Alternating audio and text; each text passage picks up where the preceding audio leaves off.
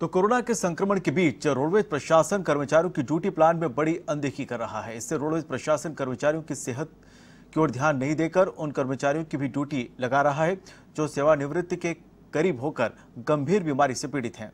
तो वहीं कुछ डिपो में कोरोना काल में कर्मचारियों की वेतन काटने का भी काम किया गया है। ऐसे में रोडवेज़ कर्मचारी यूनियन ने इसका विरोध जताया है। इसको लेकर रोडवेज़ के अधिकारियों को भी अवगत कराया गया है। लेकिन अभी तक की भी गंभीर बीमारी से पीड़ित कर्मचारियों को फ़ील्ड ड्यूटी दी जा रही है। ऐसे में इन कर्मचारियों में कोरोना का खतरा ज़्यादा बढ़ता नज़र आ रहा है। यहाँ तक कि ड्यूटी करने वाले दो रोडवेज़ कर्मचारी पहले कोरोना पॉजिटिव भी हो चुके हैं।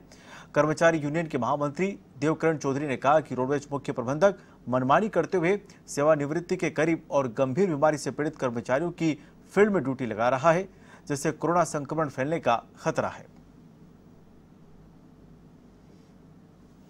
सेवानिवृत्ति के नज़दीक हैं, जिनके किसी के छः महीने, किसी के आठ महीने हैं।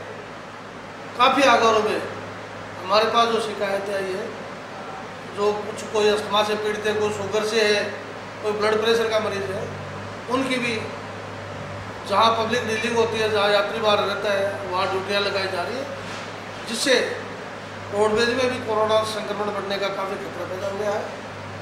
हम प्रशासन से व सरकार से मांग करते हैं कि इस ध्यान दें। अन्यथा ये स्थिति विस्फोट हो सकती दो कर्मचारी पहले ही पॉजिटिव आ चुके हैं। इसमें कर्मचारी दो पहले पॉजिटिव आ चुके हैं। काफ़ी की स्क्रीनिंग हुई है और ये जो इस कारण से काफ़ी बढ़ने का खतरा आ रहा है।